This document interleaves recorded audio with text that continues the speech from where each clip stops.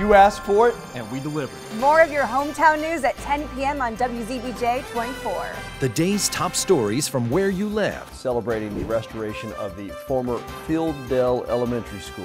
WDBJ 7 obtained court records today. And your hometown weather forecast. So we'll talk more about the specifics on that. All without wasting your time. From the team you trust. Just an hour earlier. WDBJ 7 News on WZBJ 24 at 10 p.m.